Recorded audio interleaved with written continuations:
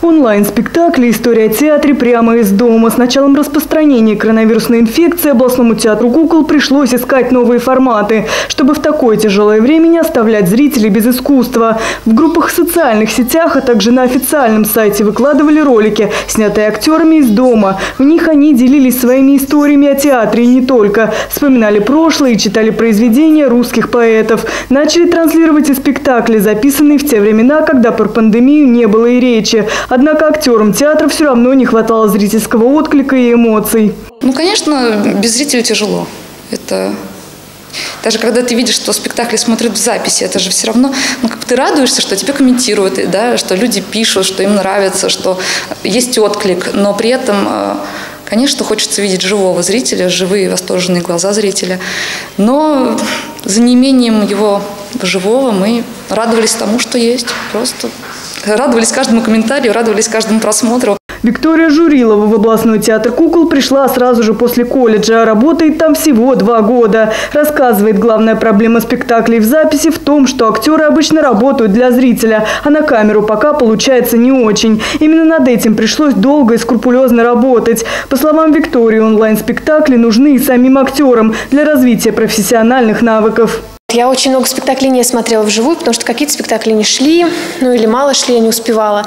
И я поэтому их просмотрела, ну, то есть для меня это тоже было полезно, посмотреть, как работают ребята. Также свои спектакли я смотрела на себя вот, да, со стороны, понимала то, что ну, вот, ну, здесь как-то не то, ну, надо что-то переделать, там как-то ну, в основном у меня все было здесь как-то не то, поэтому надо переделать для себя. Ну, в общем, я поняла, как со стороны я работаю, на себя посмотрела.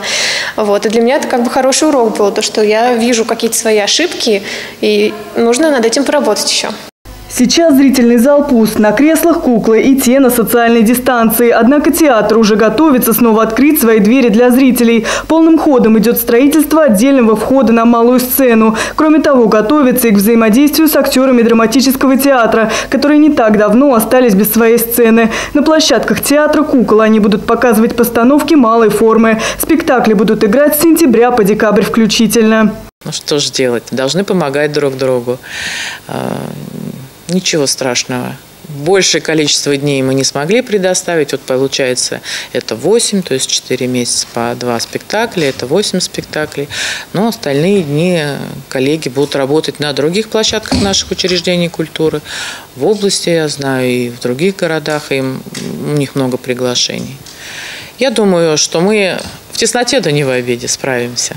А репетиции своих спектаклей уже начались. Впереди работа над премьерами. Всего в этом году их планируют восемь. Большинство направлены на юного зрителя. И несмотря на то, что в современных реалиях массовые походы школьников и воспитанников детских садов запрещены, театр ждет зрителей. За июль мы должны сделать три спектакля. Это три разных режиссера, это разные художники, это разные актерские составы. Но тем не менее, Работа идет напряженно, потому что цеха у нас одни, и цеха трудятся на все три постановки, потому что э, художники по свету и звукорежиссеры у нас одни, композитор у нас один, который сейчас, э, не покладая рук, трудится над тремя спектаклями подряд.